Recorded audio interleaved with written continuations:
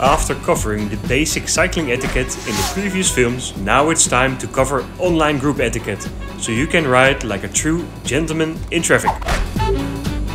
Make sure you have enough water bottles and food ready. A plant nearby can shorten your toilet breaks. You can get unexpected rain during your ride, so attach mud guards. Bring a spare tire and a bicycle pump in case of bad luck. Cheating is not for great athletes, so please, no sweat laps before the weigh-in to reduce your weight.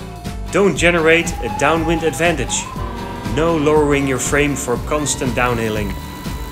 And no super tucking during descent.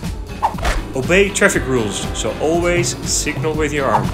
While riding in big groups, the drafting advantage is great, but also put in your effort by taking the lead. Signal with your elbow if you want to give the lead away.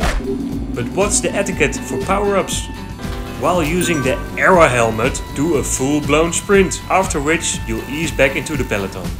The feather is like dropping 5 pounds and the minivan is your time to chill out in the belly of the peloton.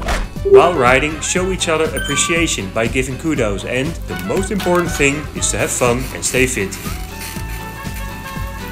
Ready for a real challenge?